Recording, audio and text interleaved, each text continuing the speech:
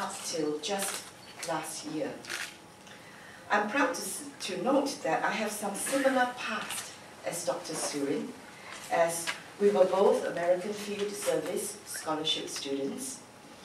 And um, he was in the 60s and I was just 10 years later.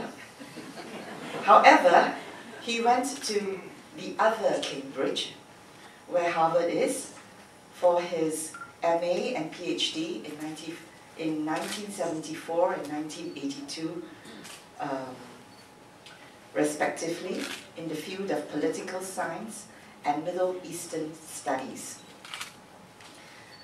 Hence, Dr. Surin is a Harvard-trained diplomat and politician. He also studied Arabic and conducted research at the American University in Cairo from 1975 to 1977, while he was a fellow at the Higher Institute of Islamic Research in Cairo, Egypt.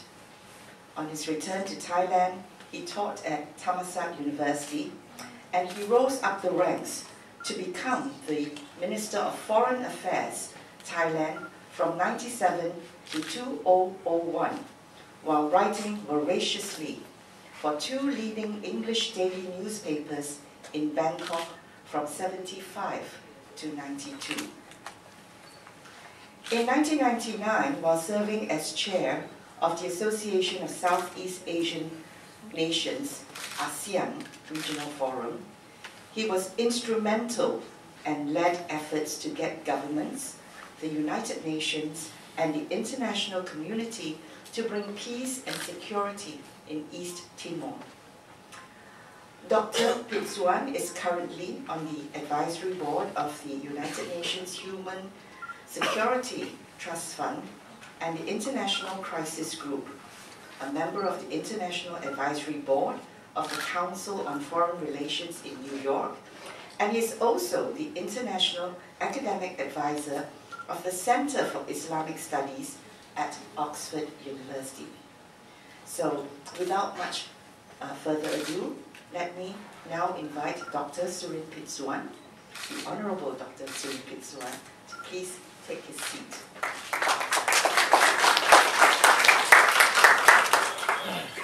Sit first and then. I'm fine.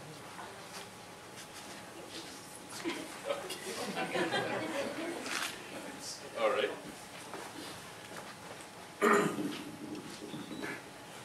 Thank you very, very much, Ms. Eli- Elizabeth Lee. Assalamu alaikum wa rahmatullahi wa barakatuh.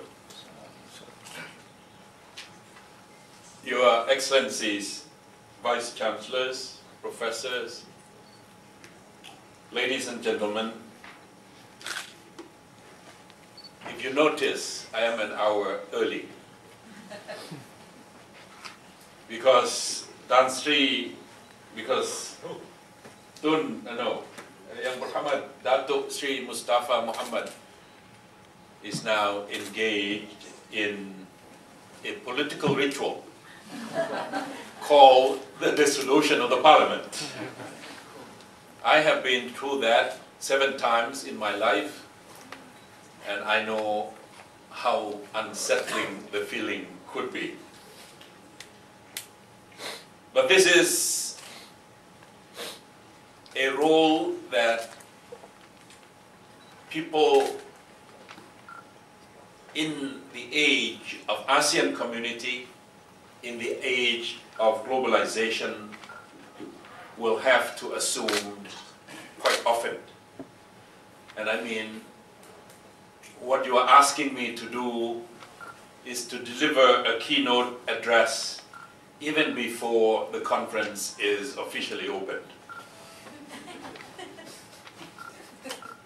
I raise this issue because life in the age of community, ASEAN, and life in the age of globalization will be full of improvisations. You have to be able to adjust, you have to be able to react and improvise constantly. Five years at ASEAN have brought me to a realization that from now onward, university, schools, teachers will have to prepare students, younger generations, for at least three or four careers in their life. It is no longer true that you first graduate as an accountant and you will continue to be an accountant for the rest of your life. That's not true anymore. It is no longer true that you become a nurse in the beginning and you will remain a nurse until the end of your career. Now there are choices in the new landscape of the economic community of ASEAN and certainly there is tremendous spectrum, wide spectrum of choices in the global community.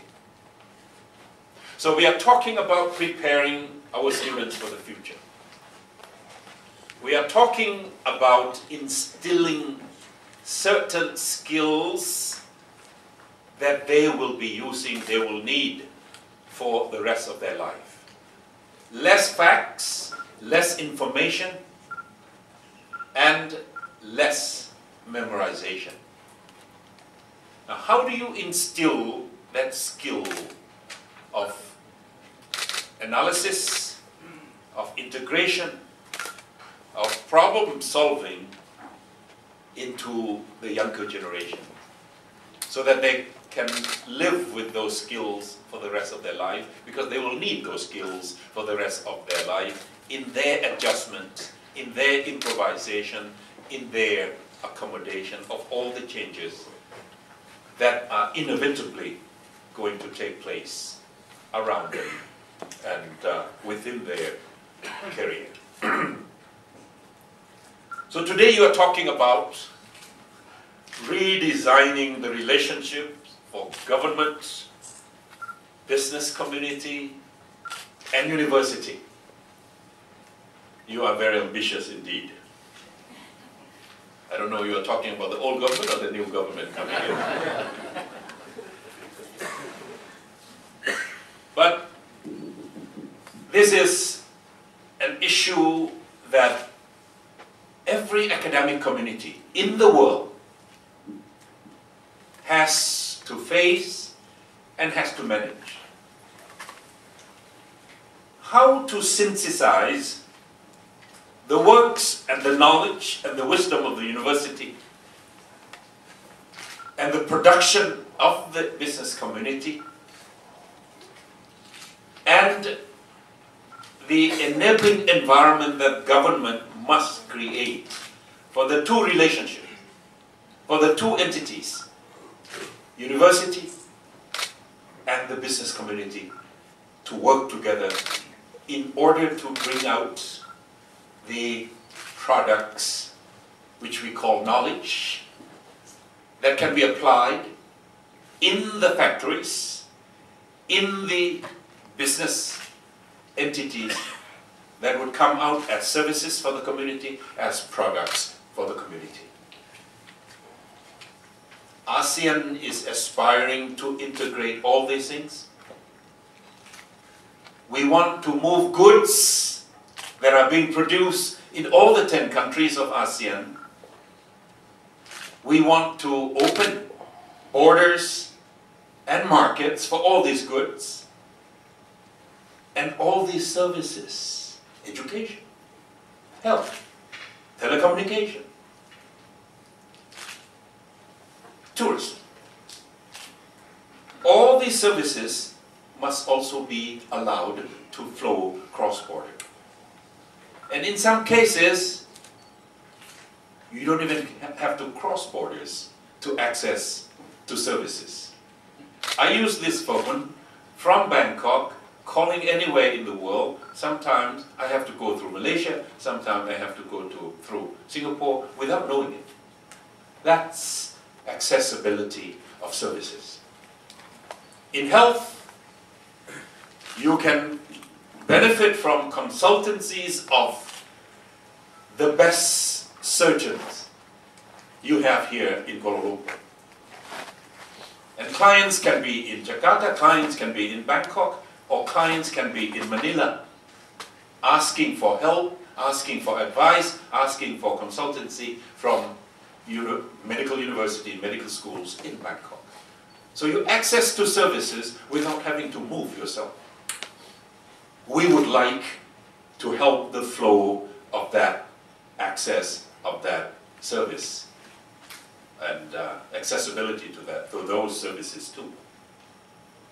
And then the capital will have to go through.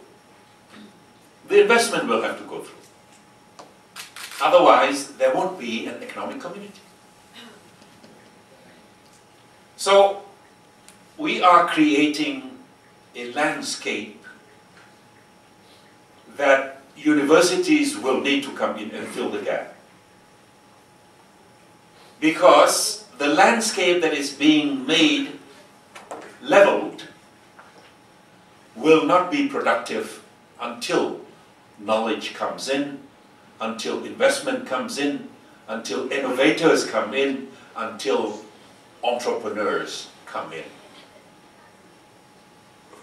More and more, jobs in ASEAN need to be created by the people themselves. It used to be that you graduate from universities, you go and find jobs. That's the old model. That's the old setup, old structure. You teach, you help them to become certain professionals. They go out and find jobs in the traditional market. But in the age of the community, in the age of globalization, your students must be able to create their own jobs through their own innovation.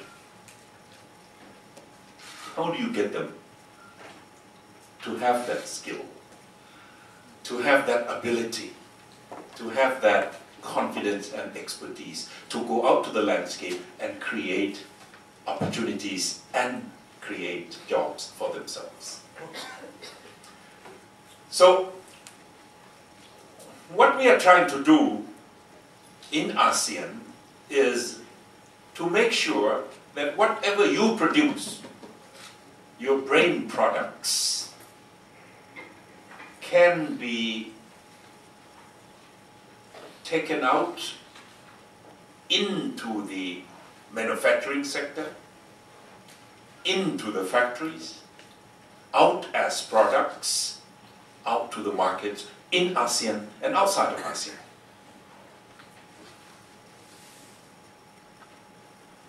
The challenge for all ASEAN economies is this. So far, our model of growth has been based on import of investment, import of technology, import of management, then in the end, a lot of the products that we produce with those three component, components from outside will eventually be exported out to the world market. What do we get here? We get the price of our labor, which is very little, very minimal. And the big chunk, major chunk of profits will have to go back to the people with the intellectual property, will have to go to the people who own the capital, will have to go back to the people who manage these enterprises on our landscape. And that is why most of us are at risk of being caught in this, what we call the middle income trap. This middle income trap, meaning the people or the economy can never go beyond $10,000 per capita, per head, per year. In ASEAN, only two countries have made it beyond 10,000, far beyond 10,000. Brunei What we don't need to talk about Brunei, it's a special case. Bruneians walk on the beach, they kick a stone, they have gas coming up. So we leave them alone. Brunei, a special story. Singapore. Singapore has achieved a level of economic progress. As if you measure per capita income, it's higher than Japan, it's higher than Korea, higher than Australia, higher than many of the European countries. It's about 45,000 US dollars a year per head. The next country in ASEAN among the 10 that will make it, this is a secret for all of you, is Malaysia. Because 20 plus years ago, Tun Mahathir said by the year 2020, Malaysia will be a developed, a rich income country. And you have seven more years, less than seven years, I think you will make it. Because right now, Malaysia, your per capita income, I know in this room you have more than that, but the average capital and uh, per capita income of all Malaysians stands at 9,600 plus US dollars. You are only a couple of hundreds shy of that $10,000 per head per year. So congratulations, Malaysia. I'm not campaigning for any party. but you are going to make it. The challenge for ASEAN is how about the rest? Seven more. My own country has been developing for the last four decades from 1,000 plus per capita to now only 5,000 plus per capita. Only half of that 10,000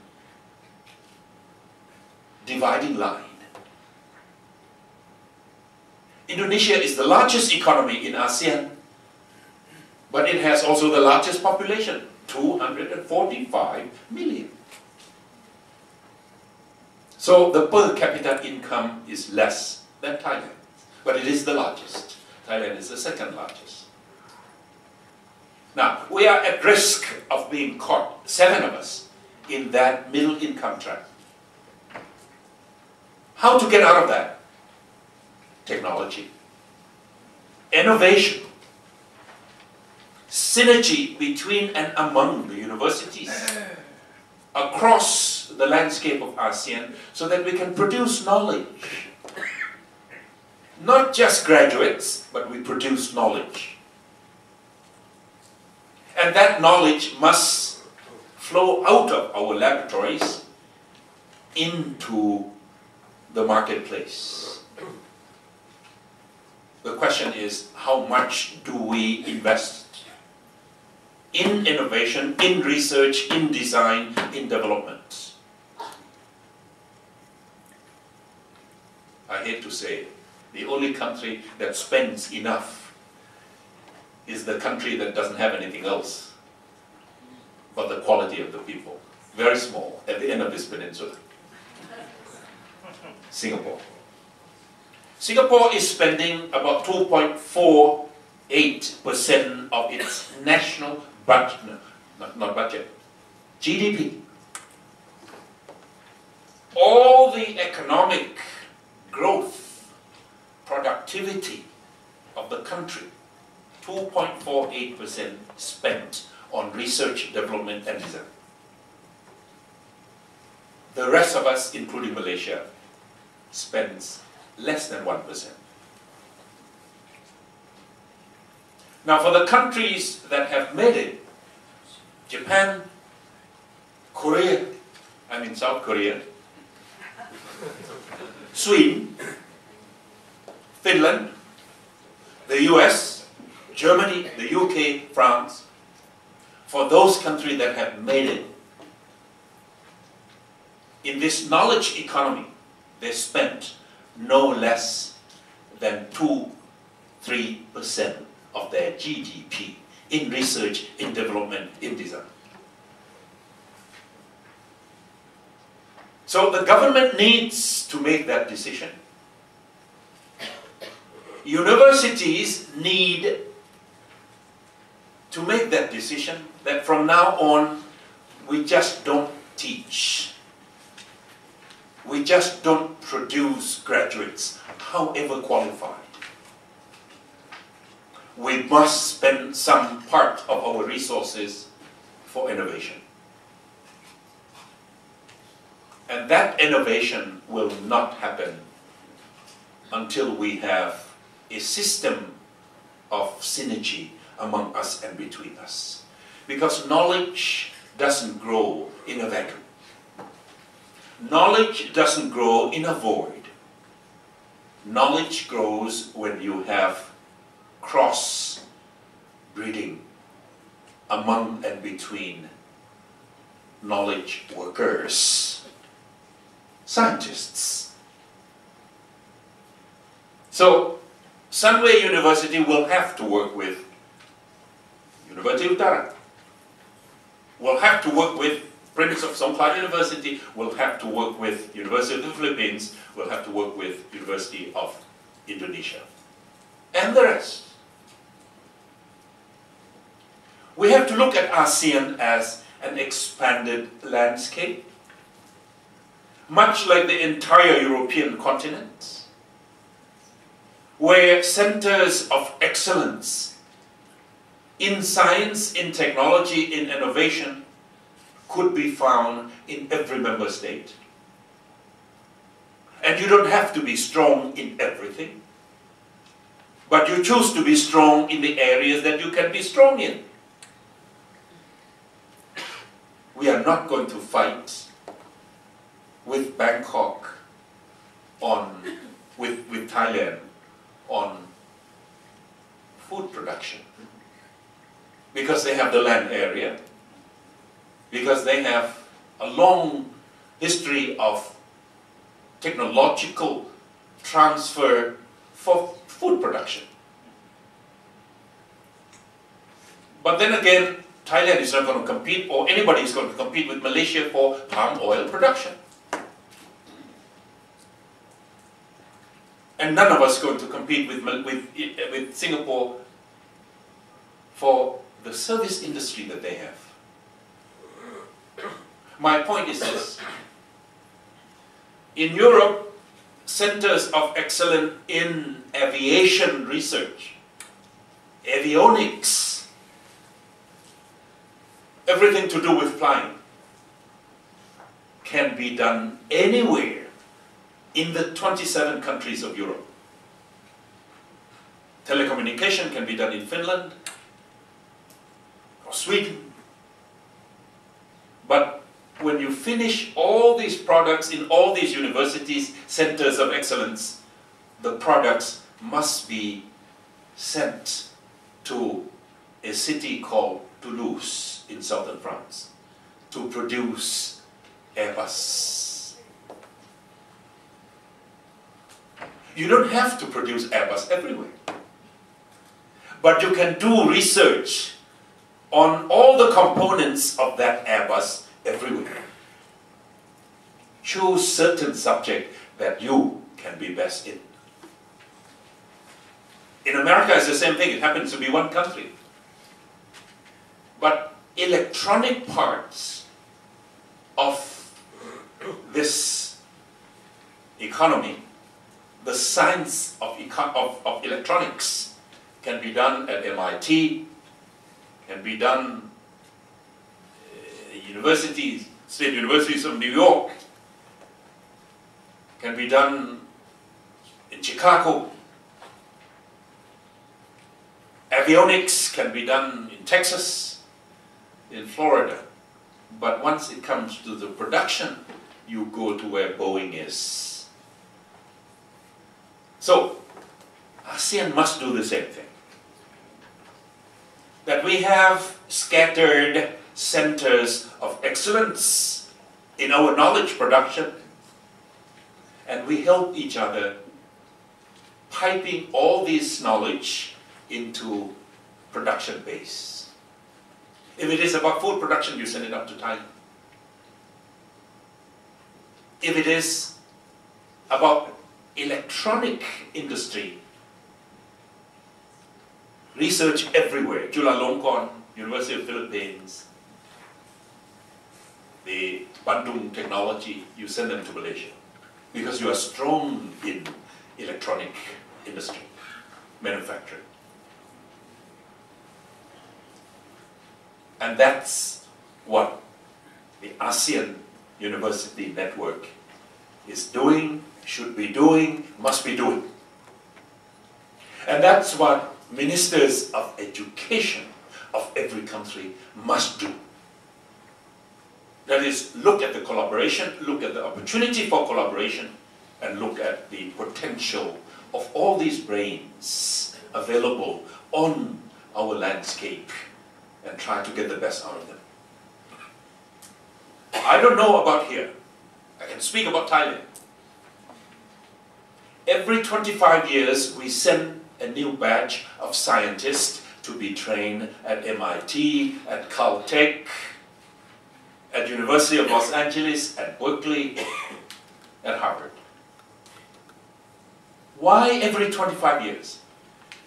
Because when they come back, we put them into the classroom to teach. Whom do they teach? They teach teachers. And what do these teachers do? They go and teach at high school level. There is no opportunity for them to grow their own knowledge, to incubate their own innovation.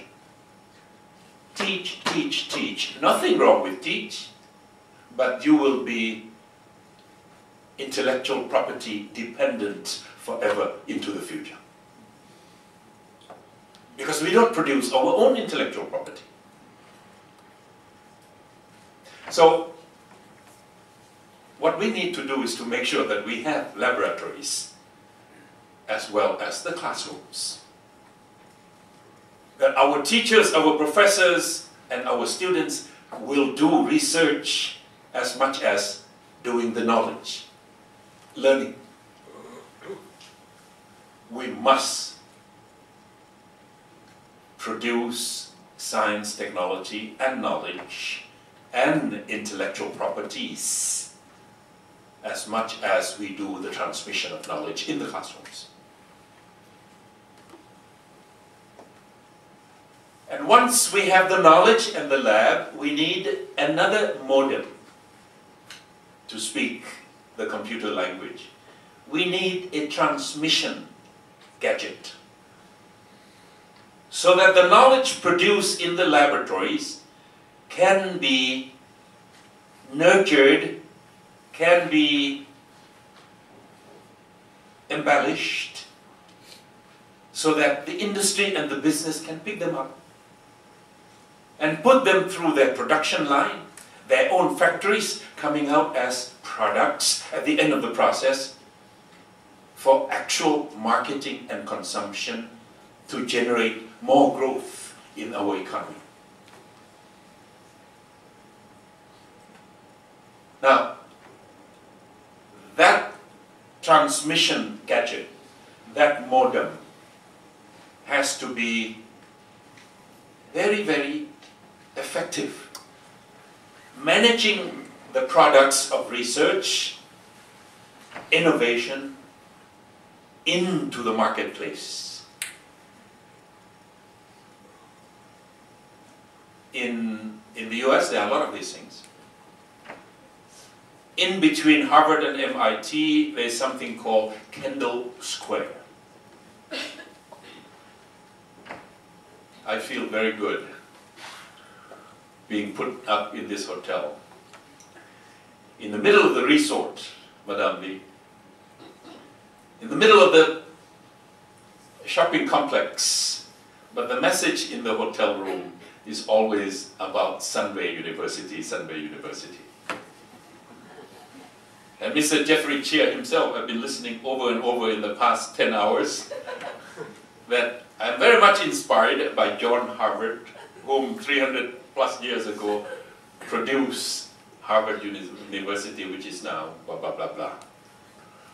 If it were other other hotel, it would have been what's the casino you have, massage parlor you have,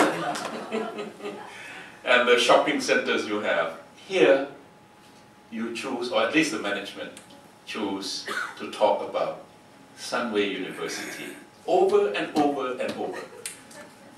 I'm very impressed. But, but here is the trick. Every university system must create that transmission line from the products of the laboratories of that university or of a collection of universities, Harvard, MIT, Kendall Square. And the business there is doing nothing except trying to make sense of what the professor of physics have done with his students, research on this little thing, and how it can be turned into applicable technology. And you see a sprawling uh, high rise in this thing called Kendall Square. And the business is transmission of knowledge from Harvard, from MIT laboratories into the industry.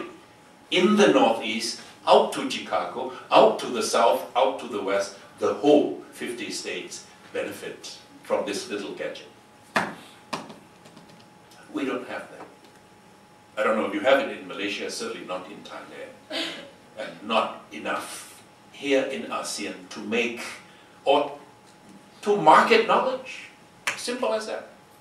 To market knowledge, to package that knowledge into something that is sellable, that has economic values right away, rather than having that big volume of research gathering dust on the shelf in the library.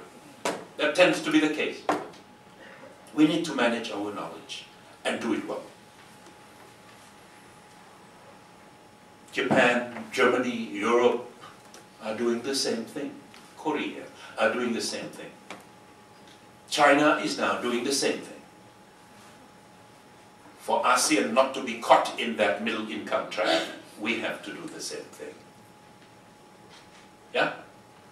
Now, business, university, government. That's one of my expertise too. Government usually has a very short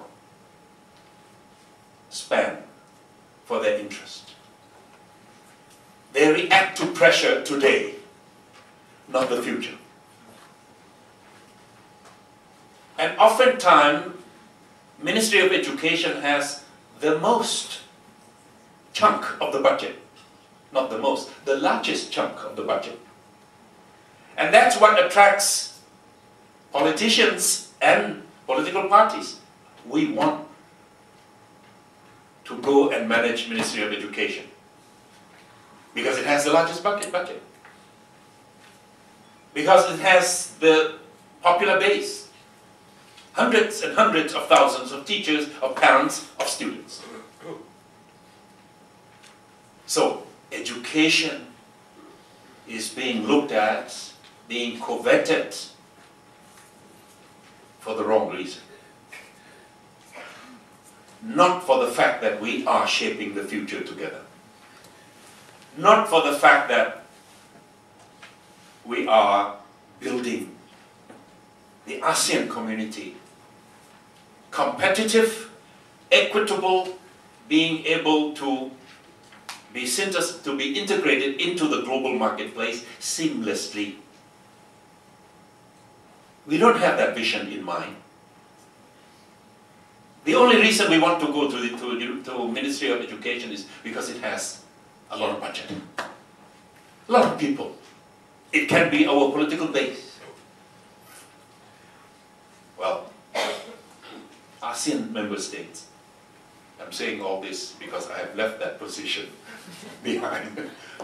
ASEAN member states have to make that mental shift that from now on, education is our first priority, the first on our agenda.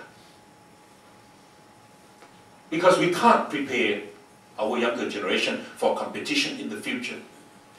For the three or four careers that they will have, They open to them but unable to take because they are not prepared.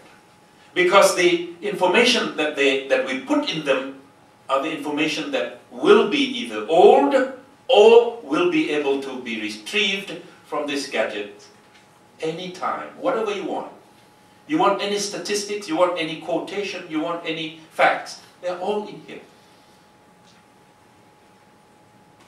Our children, our younger generation must be trained to think, to analyze, to solve problems. But politicians and I'm glad I'm speaking in before Dr. Mustapa. He's a good friend. I work with him closely, Minister of Economy. But he too has to struggle against this. That for Malaysia to be competitive in the production of your products, his responsibility, in the industry, in the export, you need qualified workforce. You don't want to import the technology from outside forever. You want to be able to do homegrown or to, to use homegrown technology and science here. So that Malaysia can be competitive in the production, in the export, in the industry. Dr. Mustapa is in charge of that. So, what we need to do is to make also that mental shift that education is the first agenda of every family in ASEAN. All across. It's nothing more important than the future of the children. In Thailand again, a lot of, a lot of government officials are taking the option of what they call early retirement. 55, you said enough. Because even if I continue on, my salary will be the same. I stop now, I have the, what do you call that, pension of about the same. So why bother? That is the option now. I don't know about here. But in the future, the five years left, the 10 years left, is not going to be used just to stay at home. Because there will be choices. So early retirement in the future will be early retirement for another career. And how do you prepare our children, our future generations, to make use of that large, at least one third of the working period of their life productive because that's what we will need. More productivity out of less people. More productivity out of aging people population. I'm sorry, all of us will be old at some point. So that's what we have to plan. That's what universities have to help plan. That's what governments have to look into the future and look at options. What do we have from our population, from our scholars, from our universities, from our younger generation now and in the future? And here is my last message. How, how are you going to help students to think, to analyze, to integrate information, and to be able to solve problems? It is easier said than done, yes. It's easy to come in with a text and, and read to the students, one, two, three, four, five, and ask the student to give it up back to us tomorrow, one, two, three, four, five, and if you slip, five become one, you lose grades. because everything is structured. And we expect them to memorize. Last year was the centennial of Titanic. And an integrated teaching of the event of Titanic would be four teachers, math, uh, English, science, math, and social studies, four teachers working together, asking one student to write one report on the event of the Titanic. 10 pages, report. The English teacher would just look at the English language. Whether he crossed the T's, whether he dots the I's, whether he put the commas in the right place, whether he used the right tenses. The math teacher would expect that the student will use this formula that he learned to calculate how much of that iceberg is on top, how much of that iceberg is further down. Almost physics, almost math, almost, almost math, almost science. But the science teacher would also expect the student to explain this phenomenon. Why the iceberg at that time of the year? Why it floats down through this Gulf Stream, Northern Atlantic? What happened to the environment? What happened to the atmosphere? What happened to the seasons? The social science teacher would expect the student to, to explain what is the social economic background of the passengers. First class, mostly honeymooners. That's a fact. But if you don't ask, the students won't do the research and won't analyze. The second class are mostly salesmen floating between uh, America, North America and Europe. And the bottom are migrant workers either coming back to visit their old families or going to America looking for jobs at the bottom of the ship. What would be the way we teach in traditional schools in ASEAN? We will ask multiple choices. We will ask students the Titanic events, catastrophe took place in one, the Pacific Ocean. Second, the Indian Ocean. Third, the Atlantic Ocean. And the fourth would be all of the above. and believe it or not, there will be students who would say all of the above. Why? Because they didn't think. Because they don't analyze. Because they were not taught to integrate information and to solve problems. They were taught to memorize. And you know what they would do? They would flip the coin. And the coin turned out to be D. So it's D, all of the above. How can the Titanic catastrophe took place in all three oceans at the same time? I'm not campaigning to become the Minister of Education in Thailand. But coming from the bottom of the society in southern Thailand and got the education at Harvard, I know what it takes to change the educational system.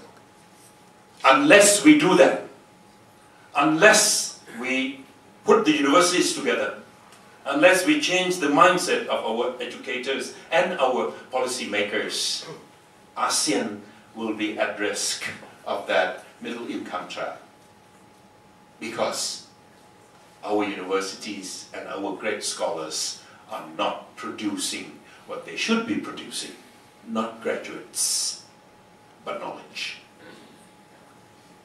I wish your deliberations in the next few days successful, and please help ASEAN find its way out on this issue of university, university collaboration, designing the relationship between university, business, and government. I will be waiting for the result of your deliberation. Thank you very much. Wassalamu alaikum wa rahmatullahi wa barakatuh. Thank you very much, His Excellency, for the very inspiring and informative speech.